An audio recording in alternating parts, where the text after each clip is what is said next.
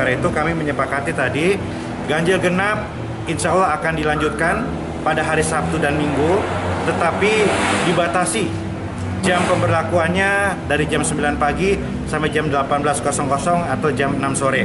Artinya memungkinkan untuk aktivitas ekonomi dibuka secara bertahap gitu ya. Yang lain-lain masih sama, jam operasional lainnya masih sama sampai jam 9 malam. Saya...